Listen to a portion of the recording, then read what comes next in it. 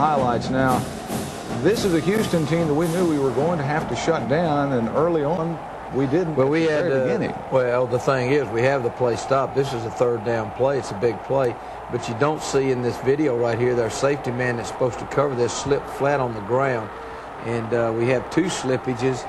And, and the man who was supposed to cover him, when you just slip on the ground, it's hard, kind of hard to get over there to it. And uh, so right away they scored, and certainly that put them in there, and they were trying to quieten the crowd down more than anything else, Jerry. Trying to take control in, in that respect because I believe A&M really hurt them with their crowd. They did, and this is a play we opened with, which is a new play. We felt like we had to put the ball. In Quinn in this ball game was going to have to run the ball more than he has in any other ball game, just so it give us a, a completely balanced uh, attack on everything, whatever they're giving us. And we come right back after the one play, and uh, we answer with a throw, great throw by Quinn, and Derek just runs away, doesn't let him tackle him, and he just runs away. It's a lot of mercy. I looked up here in a short time, and it's it's a tie game. You're talking about uh, Houston trying to take the crowd out. This one put the crowd right back in It the game. did. It, it, it just negated what they had tried to do right here, and Derek was able to keep his uh, feet and, and get in the end zone. So proud of him the way he's worked on his concentration and catching the ball. All that time he spent this uh, spring coming out and improving his catching ability. And I think Derek's the finer receivers there is in the nation. Two and a half minutes gone out of the first quarter. We're tied up 7-7. Well, it, it's early. but here is Chuck Weatherspoon, their little uh, fullback, who is so tough. And really, he's the only one that really burned us badly uh, throughout the game. We, we shut down a lot of the other things pretty much the way we wanted to, but we just didn't do him. This is one right here. We're trying to get the ball. Mick's got his hands. Of course, he has a broken problem in his uh, hand anyway, and his hand's all taped up, and he just couldn't get his fingers on it. We needed to do something there, and we just missed the tackle, and he gets in for a score.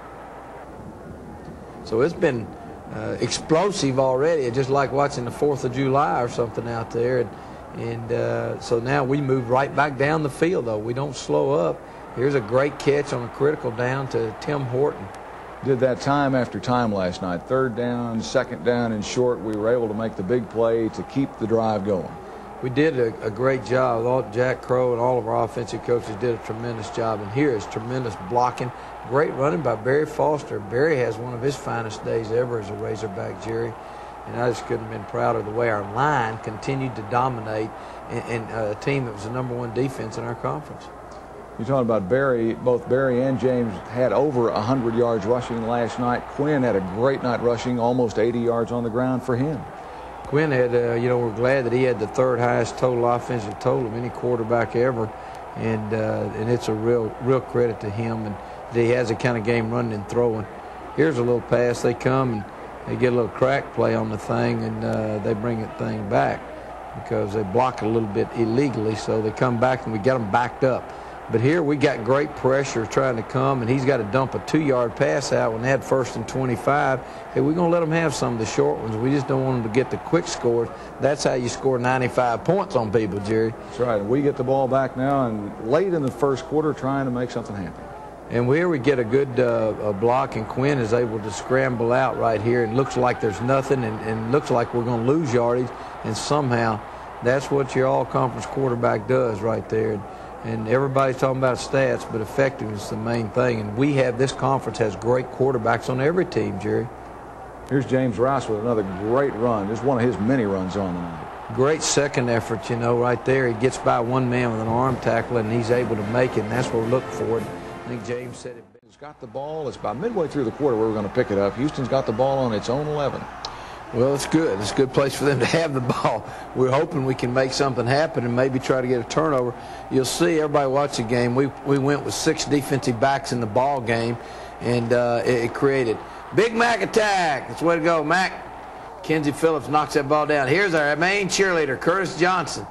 Curtis did a great job keeping the crowd uh, going the whole game, and and here we're trying to get three-man rush and uh, we force something. There's Aaron Jackson playing as a defensive end, even the ball game, so we could put some pressure on them. We, we kind of change. And right, it, it's kind of a fun ball game, Jerry. It really is. And here we go getting into another scoring drive. we Makes it need one more right fun. here. Here is Quinn. I mean, they stop our basic play and look at him reverse field right here. and, and just run by him. I don't know how he got by that one guy. He just kind of went by him in the night, like two ships passing each other. I want you to tell us, is this play here a planned play or? Sure, Jerry. Sure, Jerry. We plan all of them right like this. Here he goes down, and he's looking for him. He's not there. He just throws it back. But basically, what we have is we, we just hit this pass earlier, as you know, and we hit the ball to Tim, and now he wasn't open when he went. So immediately, if they're not open, they automatically go deep. That's our scramble. We have scramble rules in case the, the, the basic route breaks down. You you scramble. Here's Quinn finding that end zone. That's what he can do is get them all strung out there to get in. And uh, we had to kick at our extra points. Our field goal was not as good, but I thought Todd came on as the game went on and started getting back into the groove, uh, which he needs to do. Here's a little option play, and really, we this is not an option. It's strictly a sweep. And we get chopped down over there. We shouldn't do that. Don't get chopped down. Here's the pressure we got coming. We're trying to do it, and they throwing the ball deep and you can't see again in here, but uh, we slip again. And this is why we changed shoes at halftime, Jerry, to get put on our rain shoes. Even though it wasn't raining, we just needed better traction, and uh, and that hurt us on both of them. Here's another big play trying to move the ball down the field right before halftime, and we do. We with, with less than two minutes, you know, we move the ball down with a chance to score, and uh, that's what we're trying to do. We we felt we keep them off guard. Look at this big big play. Look at Baldwin great protection. Golly, it's great protection. It sets up. We needed to have points on the board the way it was. Todd drills it. No time remaining, and it's 21 to 17. And holy Toledo, who would have ever thought that? Really, and when we come back, you're going to see anything can happen as we continue in the third quarter. More great plays, players, and the greatest fans after this timeout.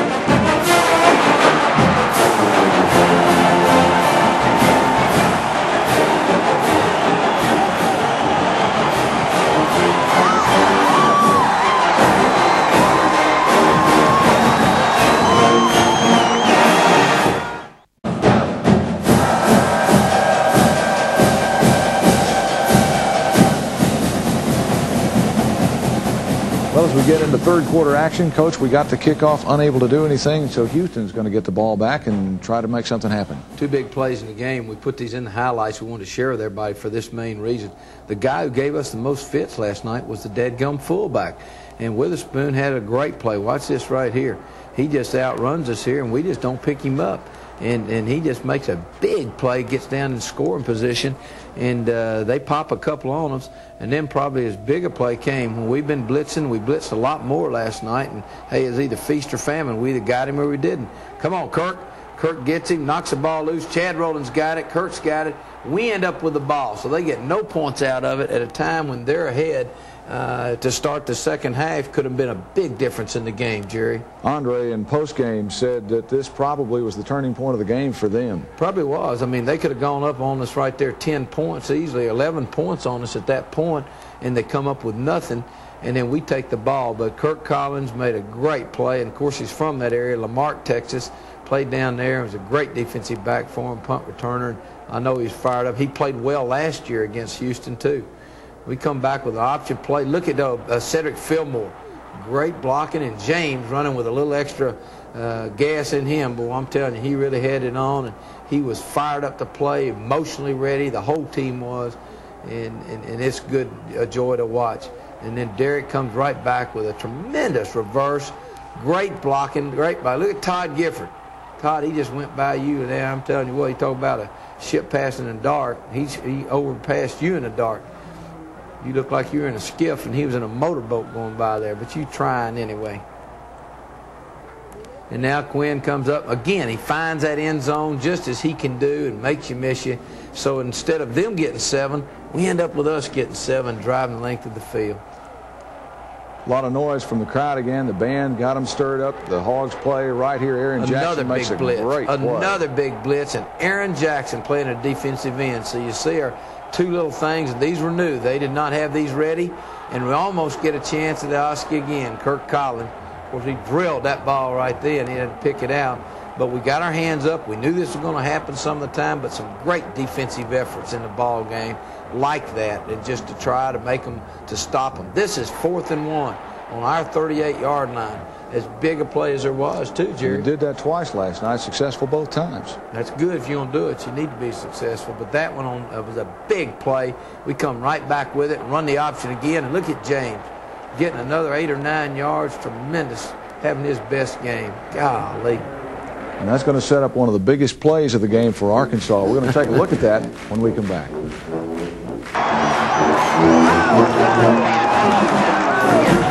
All right, as we head into the fourth quarter, Razor.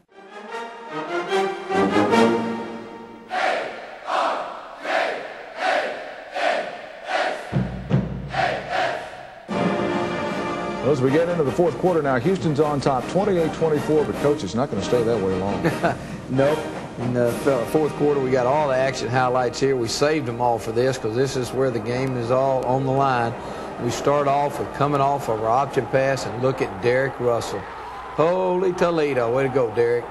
Little, Little Rock Central Flash has done it again. Almost looks like a pass that we had right at the beginning of the game. Well, it looks very similar to it because it is very similar to it. But we get great blocking. Look at Billy Winston staying on there. And, and Derek and Quinn both make a great adjustment. The cornerback had this play uh, played well inside of him, and Derek went around outside of him then, and Quinn gave enough air to the ball and let Derek run into it, under it, and that's what you have to do on a deep pass. All right, that's the first play of the fourth quarter, and Arkansas is on top now, 31 to 28. Boy, you can hear the crowd going right now. You know it. They know it's a fourth quarter. We know you got to go win it, and uh, they come back and they have a good drive. They make a couple of things. We didn't exactly just stop them for no yardage, and their kicker does a great job. Barely clears the crossbar, but does make it, and that ties the game. 31-31. We tell our kicking team now so you get a chance to make the biggest play, and our kicking team did a good job. Our kickoff coverage and everything. Here's James Rouse again, going inside, going outside. Right when the score's tied, he makes the big, big first down to get us going again. And uh, each drive and each series, you make that first first down, it just lubricates you, and everybody knows something good's going to happen. This was a great adjustment at halftime our coaches made uh, on an option play, and, and it was a, a big adjustment because we made good yardage off of it in the second half. All right, now we've got a second and six here, and watch Barry Foster. Here's Barry. This is vintage Barry Foster here. Boom. Look at that move on him. Golly, that's a great spin out move right the time we were going for the first down. And let's look at it again.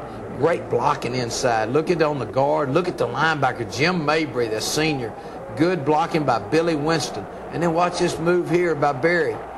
Good gracious. He used to learn that down at Arthur Murray Dance Studio. Good job, Barry. The strength he's got, he holds on the ball because he's strong as a bull, and he pulls that Unstucky's a, a sled we have down there. We get to pull that every week, and they just love it. That's going to set up Quinn Grovey a couple plays later. He's going to, or pardon me, James Rouse is going to be able to take it in.